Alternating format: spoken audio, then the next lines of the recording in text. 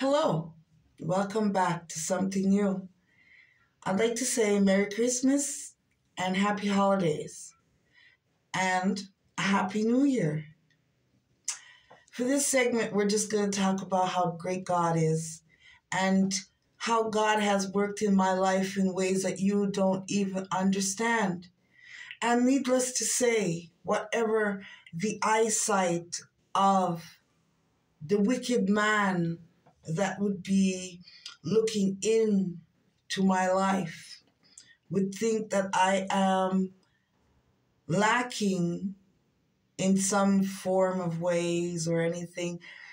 On this holiday, I lack nothing, for I have my third eye, which has been open. I think that is a gift to me from God.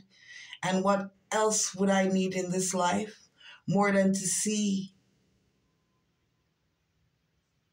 and to have the gift of sight.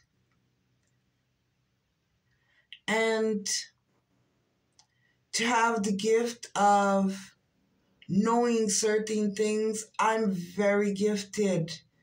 You know, I'm one of these people that could really shake my head and say, boy, you can really do stuff. You can do this, you can do that. You know, no wonder the narcissist would target me. Anyways, I hope everyone receives their gifts in life.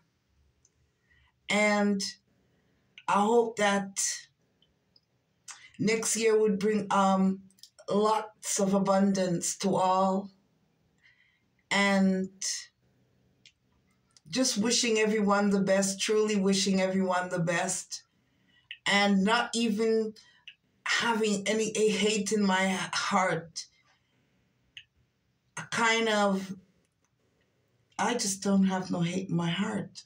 I'm so sorry for the narcissist that has to live with that and the people that have to live with jealousy and hate. But I don't feel anything like that. I feel compassion. I feel sorry for, you know, um, because I'm an empathetic person and I can see, right? So it doesn't really look good from what I can see. Anyways, Merry Christmas to all and to all good night. Take care. Have a great one.